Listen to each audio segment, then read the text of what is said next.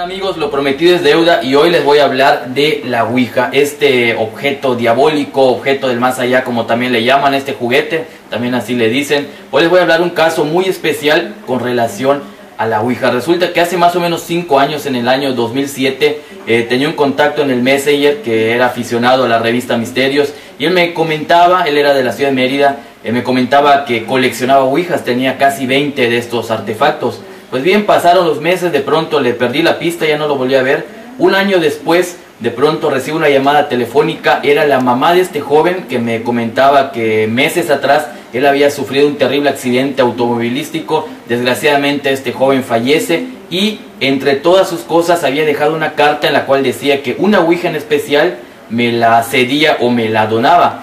La señora pues no me conocía, no sabía a, qué, a lo que yo me dedicaba y por, lo, por eso habían pasado varios meses y nunca me había contactado. Dice la señora que fue tirando una a una las ouijas, algunas las fue eh, regalando y ya cuando se quedó con la última fue que casualmente me ve en un programa de televisión, decide contactarme y obviamente pues cuando ella me contacta yo le digo, ok, definitivamente pues, sí, acepto el, el regalo, ¿no? Por así decirlo.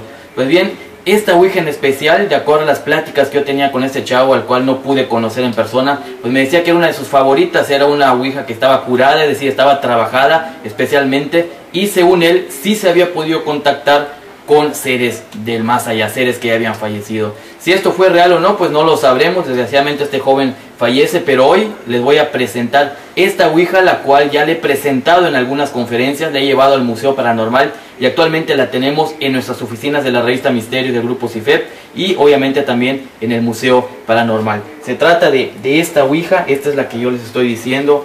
Obviamente muchos de ustedes pues habrán visto que en algunas jugueterías, en algunos supermercados se pueden comprar estos artefactos. Sin embargo, no es lo mismo comprar uno de estos juguetes que son inofensivos y solamente están ahí a las ouijas curadas, es decir, las ouijas trabajadas por hechiceros especializados, las cuales pueden activarlas y hacer que una persona en realidad pueda tener contacto con el más allá. Esta, como les repito, es una ouija curada, supuestamente esta es la Ouija favorita de ese joven, la Ouija con la cual, según él, se pudo comunicar con muchas personas.